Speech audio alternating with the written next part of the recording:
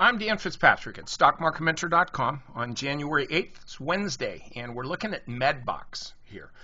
Okay, um, I'll cut to the chase here. You need to sell this stock if you're if you're long. Uh, I could totally be wrong about this. It could go clear up to 100 bucks and beyond. It's just amazing how high this thing could go. Um, this is not the next Twitter, though. Um, the technically this is about as classic a reversal pattern as you could get. Um, the only way it could be more convincing is if this was down a little bit more and this bar was up a little bit higher. But make no mistake about it, pretty nice artwork, huh?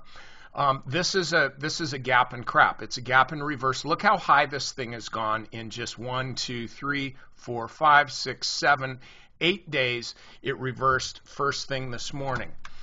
And I, I mean, frankly, if you're holding this stock and expect it to go higher from here, you know, I, I don't want to say you're a dope, but I'm just going to say that, you know, you're probably smoking something that comes out of this machine uh, that this company makes. Look, their website makes it sound like it's really, really cool. When you have to even go posting um, testimonials from your customers on your website, you're blowing a bubble, baby. That's all. I mean, you can bet. I mean, this is a it's a pink sheet stock. It's a stupid stock.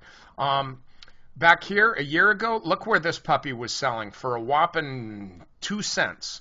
So this is just not where you want to be.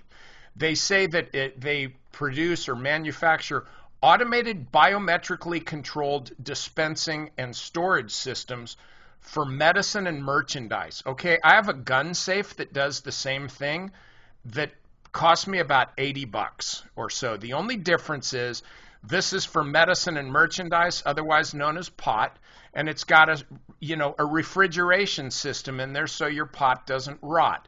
You swipe a card and then you put your fingerprint on there. This is not high-tech stuff. I'm sure they have things that are patented and that's just great. But let's look real quick and then I'll let you go at the fundies here because they're really impressive. They have $100,000 cash on hand. So do I.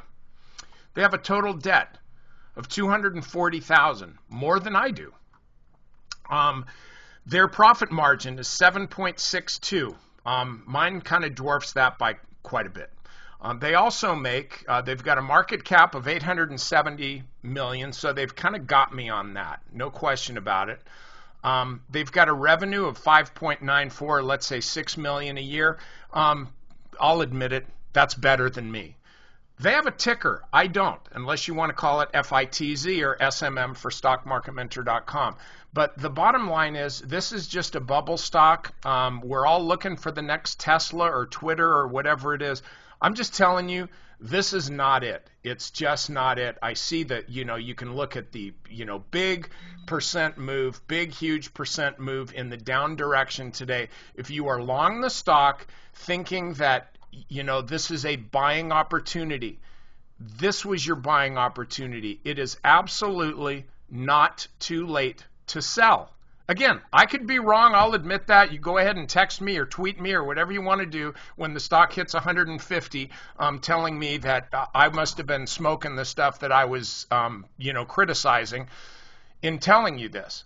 But I'm just saying, I've seen this before. I was trading last century when we saw this kind of stuff happen, and at some point, the music stops, and you would be amazed at how few chairs there are to sit down. So at 5310, I'll have to look tomorrow, but I'm hoping there's shares um, that are available to borrow because I'll be shorting the snot out of this thing and looking to cover it at maybe 30 bucks, probably 25, and and even then only if the market's still giddy.